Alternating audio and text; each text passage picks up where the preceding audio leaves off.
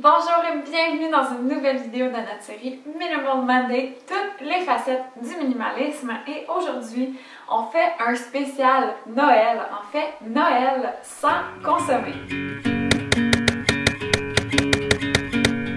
Oui, aujourd'hui c'est un sujet qui détonne peut-être un peu par rapport à tout ce qu'on entend sur Noël ces temps-ci.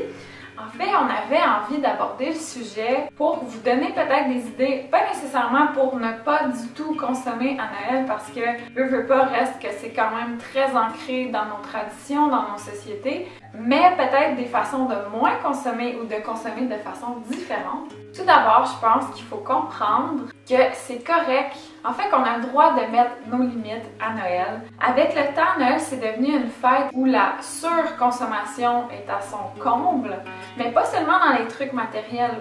Je sais pas vous, mais moi je me suis souvent retrouvée, genre le 2 janvier, à être complètement épuisée, à plus vouloir voir personne.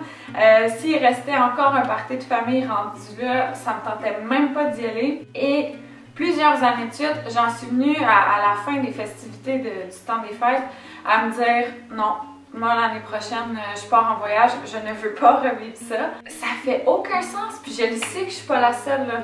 Il y a tellement de personnes pour qui le temps des fêtes, c'est devenu un moment stressant de l'année où c'est la course aux cadeaux, après ça, c'est l'enfilade des parties du temps des fêtes. Bref, ce qui est supposé d'être le plus beau temps de l'année se retrouve souvent à être un moment vraiment stressant où on en demande beaucoup à nos corps puis on les traite pas nécessairement bien. Sachez que vous avez le droit d'exprimer ce que vous ressentez. Vous avez le droit de dire non. En fait, ce qui est dommage à Noël, c'est quand on rentre dans l'obligation. Donc, l'obligation de donner un cadeau ou un nombre X de cadeaux à telle, telle et telle personne. Ou encore l'obligation d'aller dans telle et telle partie du temps des fêtes. À un moment donné, il faut s'écouter aussi, puis il faut se respecter. Puis, pour que ce soit un moment agréable pour vous et votre famille, ben, c'est à vous de décider où sont vos propres limites. Et c'est tout à fait correct de le faire. Bon, euh, assez parlé de choses super sérieuses. Maintenant, voici quelques idées, en fait, pour vous aider à faire votre propre Noël en, consommant pardon, un petit peu moins. En fait, moi, ce que j'adore de Noël, c'est pas nécessairement la journée de Noël en tant que telle, c'est vraiment le, le, mois avant, tout ce qui mène vers Noël, toutes les petites traditions qu'on inclut là-dedans.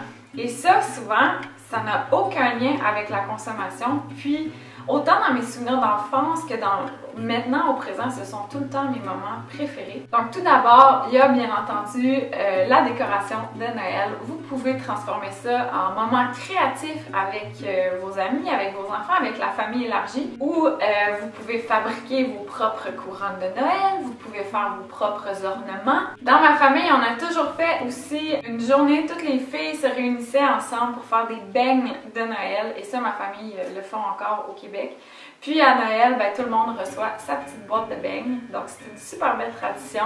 Ensuite, il y a les cartes de Noël. C'est vraiment une belle tradition. Puis je trouve qu'on a perdu aujourd'hui l'art d'écrire des lettres et pourtant ça fait tellement plaisir à recevoir. Donc j'adore quand on prend le temps de faire ça. On en profite pour inclure des petites photos de Clara. Bien entendu, il y a les films de Noël qui sont des super belles traditions du temps des fêtes. Euh, je sais pas en France si vous avez, j'imagine que vous avez plein de films de Noël également. Je sais qu'au Québec, euh, on a un assez grand répertoire de classiques de Noël et pour nous, c'est vraiment un bonheur à chaque année de réécouter toujours les mêmes films. On ne s'en lasse pas. Et il y en a certains, ça doit faire sincèrement 25 fois que je les vois. Mais j'ai toujours autant de plaisir à les écouter. Et ça, encore une fois, ça coûte rien, on se rassemble ensemble. Il y en a certains que c'est vraiment une tradition et là on n'a pas le droit de les regarder sans les membres de notre famille. Il faut être réunis tous ensemble pour le regarder. Sinon, bien entendu, la musique du temps des fêtes. Quoi de plus agréable que d'écouter de la musique de Noël en buvant un bon thé ou un bon chocolat chaud? Il y a moyen quand même de donner des cadeaux à Noël sans nécessairement embarquer dans la surconsommation. Déjà, simplement en réduisant la quantité de cadeaux que vous avez l'habitude de donner ou recevoir Déjà là, ça fait une belle différence. Sinon, deux super belles options, c'est bien entendu de faire quelque chose à la main par vous-même ou encore de vous tourner vers le seconde main. C'est également le temps de l'année de profiter des marchés de Noël. Donc ça aussi, ça fait vraiment des beaux moments, des belles traditions. Il y en a vraiment un peu partout, autant en France qu'au Québec. Vous pouvez faire une petite recherche sur Google pour voir s'il y en a un près de chez vous. Quand j'étais au Québec également, un, truc qu'on adore faire en famille, c'est d'aller marcher dans la forêt, dans la nature ou faire des balades en raquette dans la neige. C'est tellement magique d'entendre la neige crisser sous nos pas, de sentir les odeurs de sapin, ça fait ça, ça me manque, je l'avoue. S'il n'y a pas de neige chez vous, vous pouvez quand même créer vos propres petites traditions comme ça, d'aller faire des moments en plein air, en famille. Ça fait des super beaux souvenirs. Et ça fait du bien au corps et à l'esprit d'aller dans la nature, de prendre l'air frais un petit peu. Décorer le sapin, qui est vraiment un élément central de Noël. Et encore là, pas besoin d'embarquer dans la surconsommation. Vous pouvez dénicher peut-être des vieilles décorations Noël dans des brocantes, chez des antiquaires, dans des endroits où ils vendent du seconde main.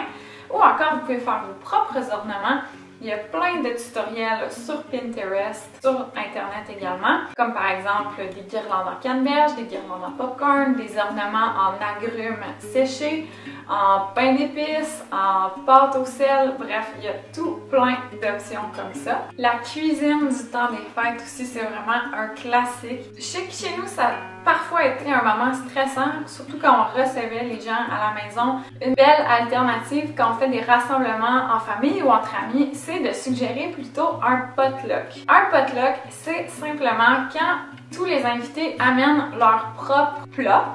Donc, on se retrouve avec tout plein de différents plats. Et pour la personne qui reçoit, c'est vraiment plus simple et c'est chouette aussi parce que souvent les personnes vont amener leur propre spécialité ou encore euh, quelque chose d'un peu différent qu'on a moins l'habitude de manger. Donc ça, c'est vraiment sympathique et ça fait des rassemblements vraiment plus cosy, plus casual, moins compliqués. Donc ça, on aime ça. Bref, la vidéo d'aujourd'hui, c'était simplement pour essayer de vous montrer que Noël n'a pas besoin d'être compliqué, n'a pas besoin d'être stressant. Je pense qu'il faut ramener le côté magique, traditionnel, en famille, plaisant de Noël et enlever un peu du, stress que toute la surconsommation peut apporter. J'espère que ça vous aura donné peut-être quelques idées. N'hésitez pas à me dire dans les commentaires comment vous allez ramener cette magie-là de Noël chez vous. Si ça vous a plu, mettez un petit pouce en l'air et surtout, n'hésitez pas à vous abonner. On revient tous les lundis et tous les jeudis avec deux belles vidéos et parfois une petite vidéo bonnie le week-end. Je vous souhaite un super temps des fêtes et nous, on se retrouve très très bientôt pour une prochaine vidéo.